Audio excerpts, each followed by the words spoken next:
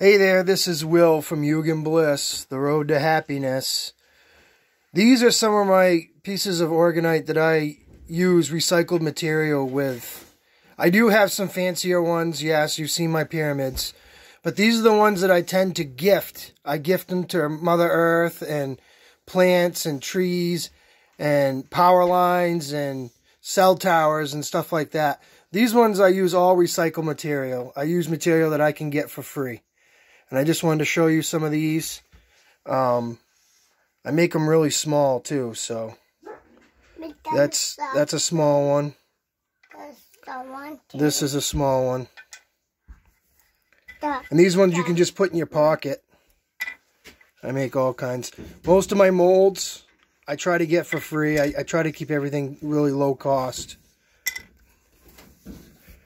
Then I got these ones, these cones. And these work just as good as my pyramids. I, you know, they're just as good. I got some other small cones that I make. And like I said, these these babies are awesome. I want I, I'm I'm I'm planning big things this summer for you for you all. I hope that I hope things work out the way they're supposed to work out because I've got big plans with this stuff. This one's a big one. This one I actually made a double mold out of. Papa, uh, who's that? To make it more powerful. One, Papa. And I made this one out of just a, a coffee, a recycled coffee cup. That's what I use for a mold.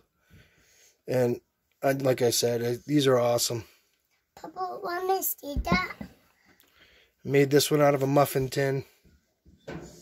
Just a mold.